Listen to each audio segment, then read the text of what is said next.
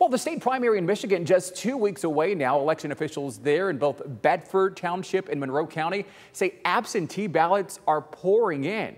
Carla Byron taking a closer look tonight.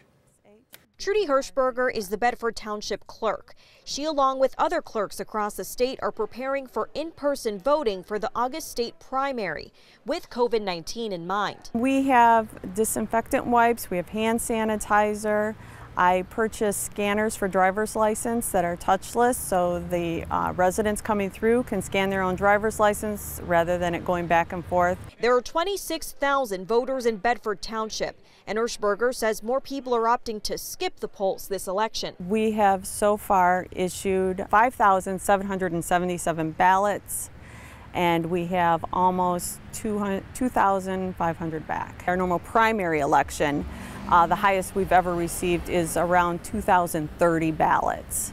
So this is quite a large turnout for absentee this year. Hirschberger isn't sure if that's because of the pandemic or if it's because the Secretary of State sent out applications to every voter.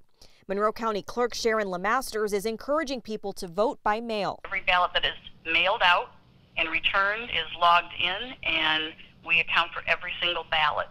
So there's no risk if they choose to vote by mail, and um, that would lessen the amount of people that are voting in person at the polls and lessen the risks of, of spreading COVID. Despite Governor Whitmer's order that masks must be worn in public buildings, LeMaster says no one will be denied the right to vote whether they wear a mask or not. But they are strongly encouraged to protect workers and other voters. Carla Byron, WTOL 11.